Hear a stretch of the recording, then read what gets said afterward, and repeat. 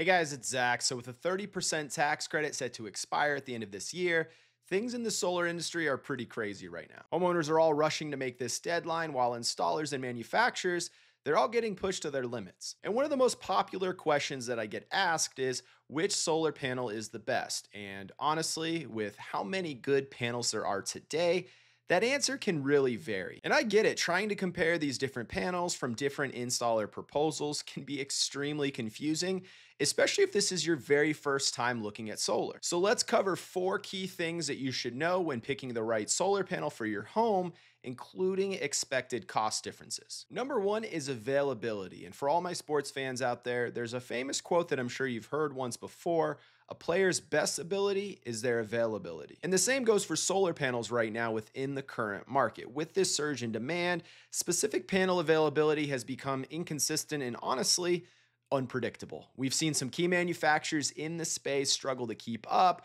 which has forced installers to pivot to other options. So, the most important attribute of any panel that you're looking to install is it actually being available by suppliers. All of these fun little metrics on different panels that we like to discuss are completely useless if it means you get installed in 2026 and miss out on that 30% tax credit. And we're going to cover this more, but the fortunate thing here to remember is there are a lot of different panels from different manufacturers that have very, very similar specs. So while you might not get the solar panel of your dreams, you can likely get one that's extremely close, and realistically, it's going to offer you a very similar performance. Just to give you context, I've rotated through probably six different manufacturers in the last eight weeks simply due to panel availability constantly changing. So be prepared to be flexible in case a curveball is thrown your way. Number two, panel specs. Now, if you've ever looked at a solar panel data sheet, it's kind of like trying to read a foreign language if you're not sure what you're looking for. You've got watts, amps, volts, acronyms, different cell technology, and all of these numbers everywhere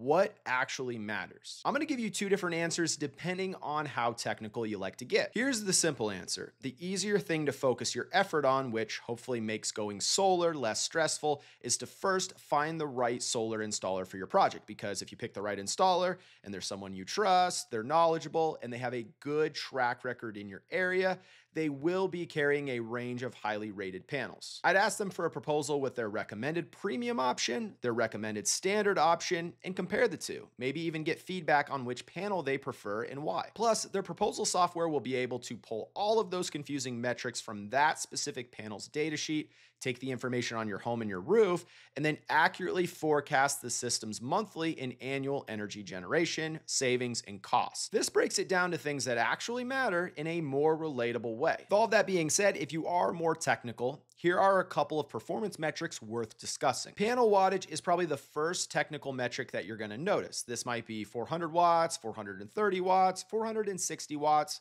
or somewhere in between. This number represents that panel's max power output under perfect conditions, also known as the STC rating, standard test conditions. And remember this, more watts does not always mean a better panel, so the metric you want to cross-reference wattage with is module efficiency. This efficiency metric on a panel datasheet is pretty easy to find and it measures how much sunlight hitting the panel is actually converted into electrical power. And most panels will fall between 20 and 23% for their efficiency, and then anything closer to 22 or 23% or higher even is considered premium. And then pairing this efficiency back to wattage, two panels, they can have the same wattage, let's say 430 watts, but they can have different physical footprints and then different efficiencies. A panel with a higher efficiency generally has a more compact footprint, while panels with a bit lower efficiency they usually reach their wattage rating through just being a physically larger panel. If you're tight on quality roof exposure, going with a premium, more compact panel could really pay off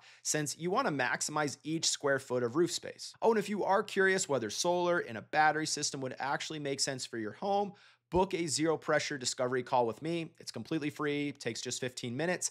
That link can be found in the description below. If you're in my service area, I'd be happy to assist. If you're not, I will let you know ahead of time and send you any resources specific to you that could be helpful for your research. Another metric that gets brought up a bunch is temperature coefficient, which being in Arizona personally, it is an important one to discuss. So with solar panels, just like any piece of technology, when it gets really hot, you can expect there to be some performance losses. Losses. A lot of panels offered today will feature a temp coefficient within the range of minus 0.24% and minus 0.35%, with a lot of panels sitting right in the middle of this range. Since it's a negative metric, the lower the number, the better. Any panel within this range I would consider to perform well in super hot conditions, some just better than others. So let's use minus 0.30% for example. This temp coefficient number represents how much power output a panel will lose for every degree Celsius above the standard 25 degrees Celsius test condition. And I know we have a mostly American audience here, so I did include some conversions to Fahrenheit here on the screen. And for even easier numbers, let's go ahead and move the decimal over in this example and make it minus 3% for every 10 degrees above that 25 degrees Celsius mark. If it's a summer day here in the US, your panel surface can definitely reach 75 degrees Celsius, and this 75 degrees would be 50 degrees above the standard test rating. Here would be the total percent losses on this example 75 degree summer day between an industry standard base level panel, a premium option, and then the best of the best. And as you can see, the total losses related to high temps aren't anything overly significant, but they can certainly add up over time. However, these panels with super low temp coefficients are also more expensive. You are paying for these performance bumps. So the good news of all of this, this type of analysis isn't your job to figure out. All the solar design software used today will be able to calculate how all of these specs translate into system performance throughout the year. But ultimately, if you do live in a hotter climate, going with a panel that offers a better temp coefficient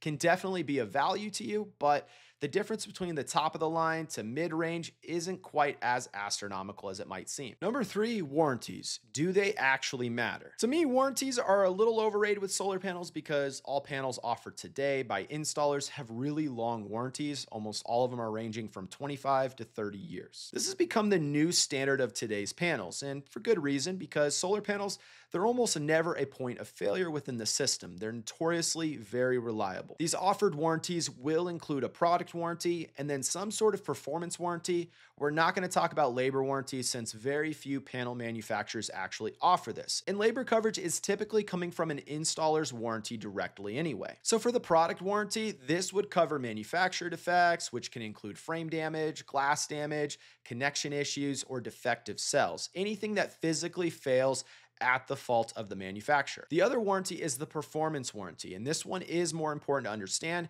because it can vary from manufacturer to manufacturer, although most of them are very similar in today's market. The performance warranty is directly related to the panel's degradation rate, and this number represents the maximum amount of annual degradation. Base level panels will typically have a degradation rate of half percent per year, while a premium option would be closer to a quarter percent for its annual degradation rate. And like I mentioned, panel failure is very rare. In the 10 years of doing this, I could probably count on one hand the amount of times that I've seen a solar panel fail post installation. Additionally, these fractions of percentages that we're talking about here would be the max degradation rate per year, not the expected amount of degradation. And I really see these warranties and all of these degradation rates more so as a representation of confidence from a manufacturer and that technology that they're offering. Regardless, if you plan on being in the home for the long haul, then going with a panel that has a better warranty stack should ultimately create more value for you since a lower degradation rate means more energy generated. But